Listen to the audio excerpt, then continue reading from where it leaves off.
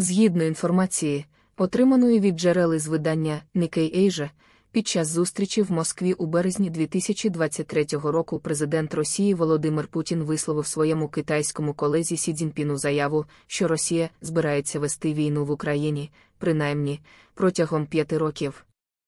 Зазначається, що така заява була можливою спробою Путіна підсумувати ту несприятливу ситуацію, що склалася для Росії тоді, і впевнити Сі, який відвідав РФ вперше після вторгнення в Україну, що в кінці кінців Росія вийде з перемогою. Джерело стверджує, що можливий підтекст полягав у тому, що тривала війна може бути вигідною для добре озброєного партнера Китаю. З іншого боку, це може бути і попередженням Сі, не змінювати своєї проросійської позиції.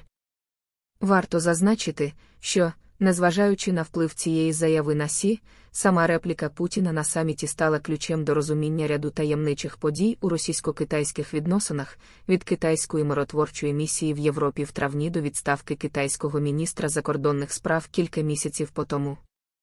Недавно газета The New York Times повідомила, що, принаймні з вересня, Путін виражає готовність до припинення вогню через посередників за умови збереження Росією територій, які вона зараз контролює.